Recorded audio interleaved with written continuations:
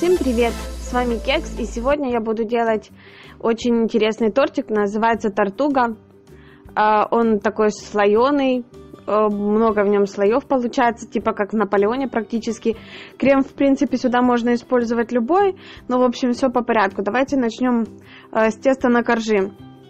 Если вы хотите более хрустящие коржи, добавляйте чуть больше масла. Если менее хрустящие, и вы планируете пропитывать, что я вам советую, потому что, ну, я просто любитель, допустим, каких-то бисквитных тортиков и каких-то мягких пропитанных тортиков, поэтому можно добавить меньше, поэтому я указала э, вариацию, можно добавлять или 50, или 80 грамм масла на эту порцию. Вот, на эту порцию теста. Я буду в этот раз делать не пропитывая, потому что у меня папа любит э, хрустящие коржи, чтобы были, чтобы что-то хрустело там внутри. И крем у меня такой, который не будет сильно э, пропитывать мои коржи. И я их не буду дополнительно сиропом пропитывать, поэтому я использовала 80 грамм масла. Самое у нас дальше простое тесто. Вот, нам просто нужно смешать, грубо говоря, все ингредиенты. Масло я поставила в микроволновку, чтобы оно подтопилось, стало мягким. И теперь я отвешиваю э, муку. Э, муки может понадобиться чуть-чуть больше у меня, потому что я использую 80 грамм масла, а не 50. Если вы будете использовать 50, то вам, в принципе, 140 грамм должно хватить. А я еще использую там буквально грамм 30 для подпыления поверхности, когда буду вымешивать уже свое тесто. Ну, собственно, вот у меня 340 грамм муки я отвешиваю. Так, следующим этапом это уже соединить все ингредиенты. Тут особо ничего, никаких сложностей не будет у нас. Я высыпаю практически всю муку. Я думала, уйдет, не уйдет меня. Может, я чуть-чуть этой буду использовать на припыление стола при вымешивании. Но на самом деле оно у меня уйдет потом все сюда в комбайн. Сюда же я сразу добавляю 100 грамм сахара.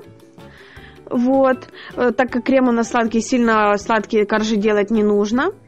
Вот перебарщивать сахаром здесь не нужно, а то они могут начать гореть. Вот, и сюда же использую сметану сразу. У меня она с холодильника, неважно какой она температуры будет, все у вас отлично смешается. Сметаны нужно нам 200 грамм, у меня это 15% сметана, жирность здесь не имеет особой роли. Вот, здесь именно важен вкус, который у нас потом должен получиться. Коржи, когда выпекаются, пахнут очень приятно. Так я бы сказала, э, сдобно, что ли. Вот сюда же я сразу добавляю одно яйцо. И мое растопленное сливочное масло сюда же пойдет. А еще забыла сказать, что сюда высыпаю э, я пакетик ванильного сахара. Ну или ванильную эссенцию, что у вас есть, без разницы. Чтобы у нас вкусно все пахло. Вот мое растопленное сливочное масло, которое все сюда. В общем, проще не бывает, вы видите, это очень просто. Теперь я ставлю это все добро у нас в комбайн на перемешивание. Тесто должно получиться довольно мягким. Оно приблизительно получается по консистенции, как Наполеон. Э, только там мы использовали с вами холодное масло, а здесь у нас масло растопленное, поэтому тесто чуть-чуть еще мягче, чем на Наполеон. Вот. Но суть, э, принцип этого теста такое же, оно будет как бы хрустящим. Вы видите, тесто довольно мягкое, поэтому я сейчас сюда всыплю всю оставшуюся муку, которую я отвесила из 340 грамм. Вот сюда же ее добавляю, еще чуть-чуть, пускай перемешается, и буду дальше подмешивать на столе, чтобы чувствовать уже и пластичность, и мне нужно будет разделить сразу на э, коржи, которые я буду катать припыляю слегка стол мукой, буду видеть, сколько мне нужно муки, чтобы не переборщить, потому что, ну, чтобы не было сильно забито и твердое у нас тесто. Буквально по чуть-чуть лучше я буду добавлять. И все тесто выкладываю сюда. Вот оно такое еще пластичное. К лопатке оно не пристает, потому что там есть масло. С ним работает довольно приятно. Единственное, что оно еще пока мягкое у нас. Мы его потом будем ложить в холодильник, и оно станет э, ну, немножко тверже. Будет немножко тверже. Все, приступаем к замесу. Долго это делать не имеет смысла. Вот, Вы, в принципе, я воспользовалась комбайном, вы могли перемешивать все это ложкой, а потом перемешать на столе. Ну, вы видите, как бы дальше мне просто работать с ним удобнее после комбайна. Я чик-чик, и у меня как бы все готово. То есть к рукам оно практически не пристает. Буквально слегка оно такое мокроватое получается из-за сметаны, потому что сметана не жирная. Если у вас сметана будет жирнее, то она вообще может не приставать. Оно хорошо впитывает муку, но я смотрю, что оно у меня еще чересчур мягкое, чтобы я его нормально поделила на шарики. То есть на количество коржей, которые мне будут нужны. Поэтому я еще слегка припыляю стол мукой. Я думаю, уже этого будет достаточно. И эту муку тоже подмешиваю. Капельку муки оставляю, чтобы сейчас я могла раскрутить колбаску и у меня не пристало тесто к столу. И сейчас, в принципе, мне нужно раскрутить колбаску, чтобы мне было удобно поделить на равное количество частей. Я буду делить на 8 частей, эм, а из обрезка у меня получится еще 2 коржа. То есть всего у меня получится 10 коржей так всегда получается, что в Наполеоне, просто в Наполеоне мы, допустим, обрезки эти выпекали вместе э, с коржами, и эти обрезки резали, э, точнее резали, ломали и украшали ими сбоку. То здесь, допустим, я эти обрезки обратно складывала в холодильник, и потом соединяла все вместе, и у меня получилось еще два дополнительно коржа. Вот. И теперь я складываю шарики.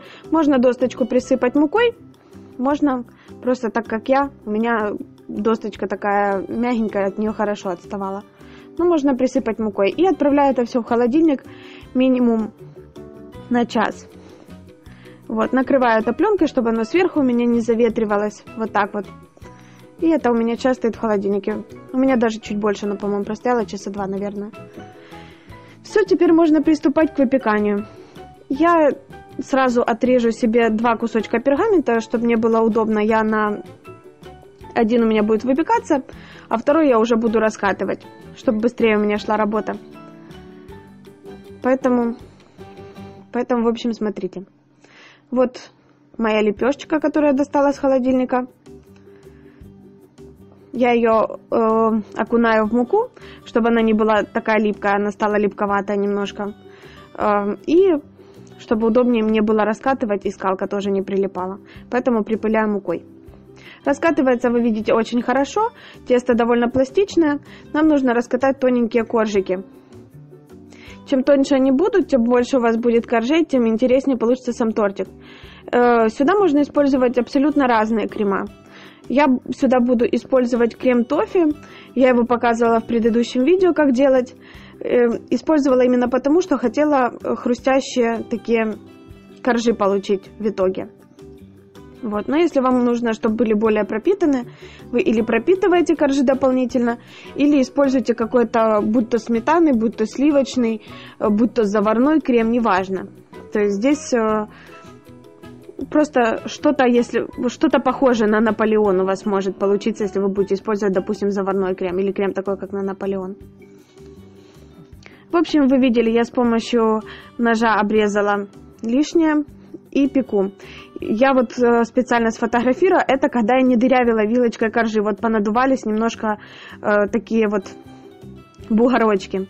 Следующие коржи я начала дырявить вилочкой, чтобы они у меня не надувались, и мне было удобнее сложить э, свой торт. Это не Наполеон, он не пропитается так сильно и не сядут вот эти вот пузыри. Поэтому э, лучше, чтобы их не было.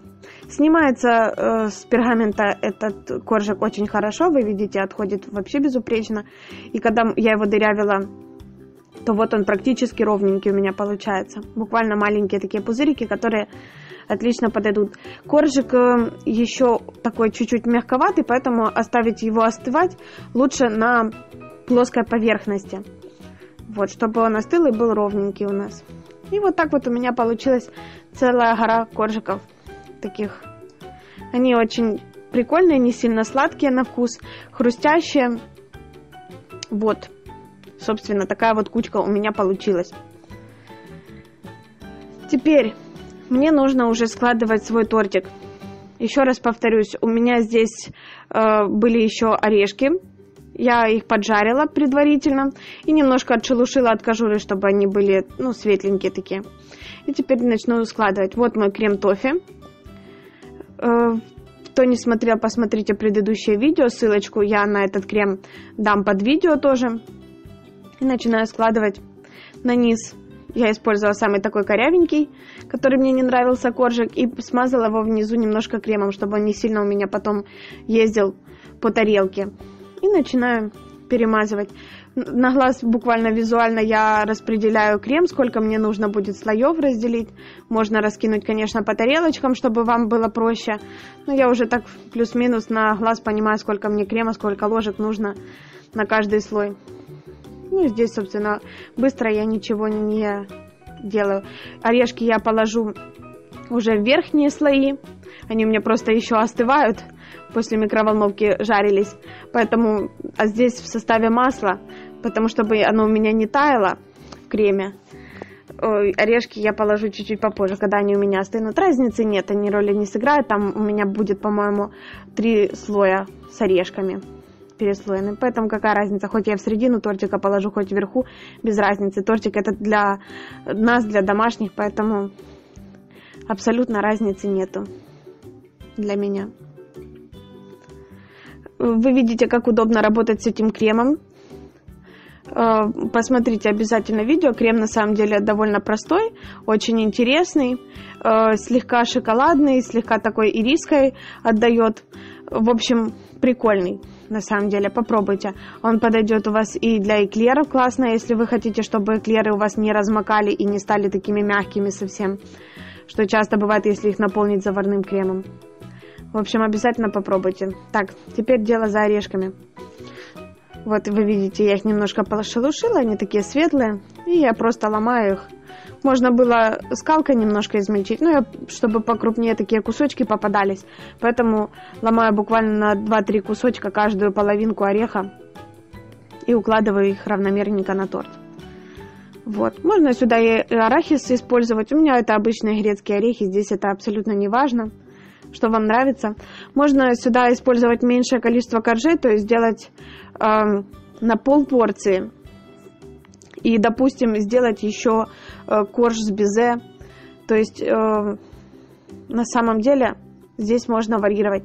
Я, кстати, наверное, забыла сказать о том, когда я пекла коржи, что коржики пекутся очень быстро, как коржики на Наполеон. Вот, и пекутся они где-то Э, при температуре 180 градусов от 5 до 8 минут, смотря какая у вас духовка. В общем, ориентируйтесь по золотистому цвету. Забыла сказать уже, извините, что так поздно. Теперь я поставлю свой тортик под пресс, чтобы он у меня сел и хорошо соединились мои коржи с кремом и, возможно, хоть слегка пропитались. Я здесь поставила бутылку с водой. Теперь Э, чтобы хоть как-то украсить, не просто ж нам вот так вот кушать тортик для домашних, его надо было хоть чуть-чуть же украсить, поэтому сделаю я быстренько взбитые сливки. Вот, у меня здесь 300 грамм сливок, поэтому я добавляю 3 столовые ложки сахара, э, пакетик ванильного сахара, даже пол пакетика, по-моему, у меня. И вот 300 грамм сливок я сюда ввожу. Сливки у меня здесь 35%, поэтому они как раз отлично подойдут для взбивания. Еще я возьму, наверное, пол пакетика загустителя для сливок, так как это у меня сливки идут не вовнутрь, а в, ну, для украшения, чтобы у меня ничего нигде не поплыло и долго держалось. Э, у меня там будут э, листики шоколадные стоять, там, ну, в общем, чтобы ничего нигде не поплыло. Поэтому добавлю загуститель. Сахар перемешиваю и отставляю минут на 10-15 в холодильник для того, чтобы сахар растворился, чтобы потом не перебить мои сливки. И начинаю взбивать уже сливки миксером. Это дело буквально, я не знаю, пару минут. Минуту я взбиваю без ничего, Просто для растворения сахара, смотрю, начинают потихоньку взбиваться мои сливки. И сюда же всыпаю э, где-то с пол пакетика своего загустителя для сливок. Может даже чуть-чуть меньше. Потому что сливки у меня хорошие, 35%, много мне сюда не нужно. А у меня этот пакетик рассчитан на 200 грамм сливок всего, а я насыпала пол пакетика. Но посмотрите, какие все равно они у меня вышли плотные. Вот нигде ничего не падает, острые пики такие, они вообще очень тугие получились, очень красивые. И теперь можно, собственно, украсить тортик по своему вкусу. Я буду использовать небольшой такой шоколадный декор, абсолютно простяцкий, абсолютно просто то, что быстро было сделать. Буквально дело там 10 минут, очень быстро. Сейчас я просто подровняю то, что у меня где-то крем повылазил, э, который тофе у меня по краям так как он э, в составе имеет масло, поэтому он довольно плотный после холодильника получается. Э, забыла сказать, тортик у меня простоял ночь в холодильнике. Чем дольше он у вас простоит, тем лучше он пропитается, тем вкуснее он будет. Особенно если вы будете использовать такой плотный крем, как у меня. Ну вот я подровняла так это э, так чуть-чуть подровняла. Если вам, конечно, нужен этот тортик под мастику, то, соответственно, нужно его выравнивать еще или ганашем, или картошкой потом ганашем. То есть э, вы уже для себя смотрите, что вам нужно. Так как у меня это просто будут сверху взбитые сливки, я прохожусь по верхушечке. Эм, у меня там будут небольшие украшения, которые перекроют все мои неровности, поэтому я не заморачиваюсь по поводу идеальной гладкости своего тортика. Просто распределяю, чтобы равномерно получилось у меня и нигде не просвечивался корж. И точно так же по бокам аккуратненько прохожу. Еще раз повторюсь, так как о, там у меня масляный крем, он довольно плотный после холодильника, и поэтому можно абсолютно легко, э, аккуратненько, мягким сливочным кремом боковушки подровнять. Аккуратно туда ничего не задеваю, ничего не трогаю. По чуть-чуть я подравниваю. И сейчас покажу, что у меня получилось.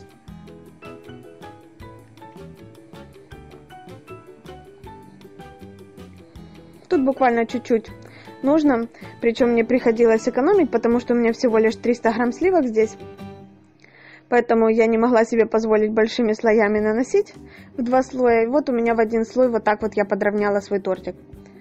Не сильно идеально, я понимаю, но еще раз повторюсь, это для домашних, и сбоку у меня будут вот такие вот большие шоколадные штуки.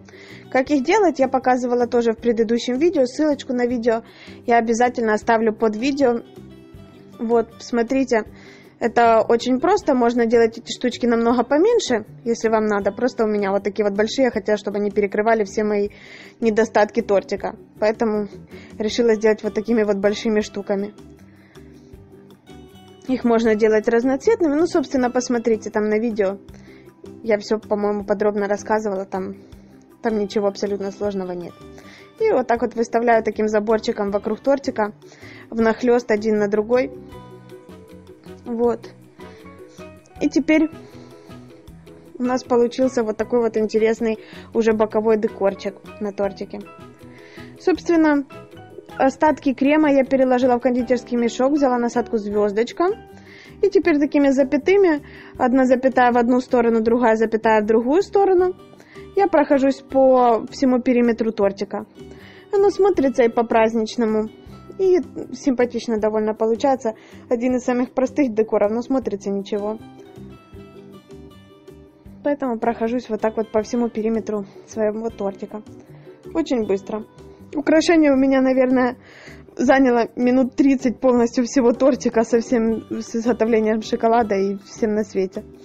Поэтому, если у вас надо очень срочно, Дальше мне нужно будет как-то расположить листики. Я решила, что листики я поставлю как бы на... Мне надо какие-то горбочки сделать для листиков. Поэтому я сделала вот такие тоже запятулечки.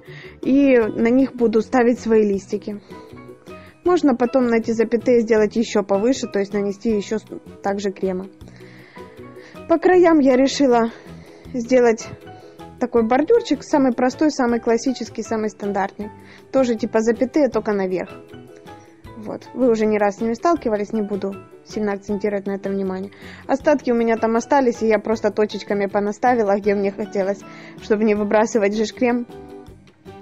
Поэтому все остатки выложила на крем. И вот мои листики, которые у меня остались. И сейчас я эти листочки просто расставлю на тортике. Наверное, их вначале сниму все. Отходят они хорошо. Шикарные прикольные листики получились, учитывая, насколько просто они делаются. Вот, поэтому с ними очень просто работать. Так, все, листики мои готовы, можно их расставить на тортик, абсолютно так, как мне нравится. Можно было еще какой-то цветочек делать, но я же говорю, у меня был самый простой вариант. Украшения мне нужен был, поэтому не сильно я заморачивалась. Главное, чтобы было симпатично к чаю попить такой тортик. И расставляю вот так вот свои листочки. Там у меня вокруг листочков остались кусочки шоколада. Я думала их или поломать, посыпать вокруг, э, чтобы что-то черненькое, какие-то точечки были, или этими палочками так расставить. Но решила, что, наверное, я пообламываю и палочками поставлю. Вот, вы видите, то, что сбоку листиков получилось. Типа можно повтыкать просто в, тортик. Но это, еще раз повторюсь, это чисто фантазия от нечего делать называется. Просто втыкаю так, чтобы для объема.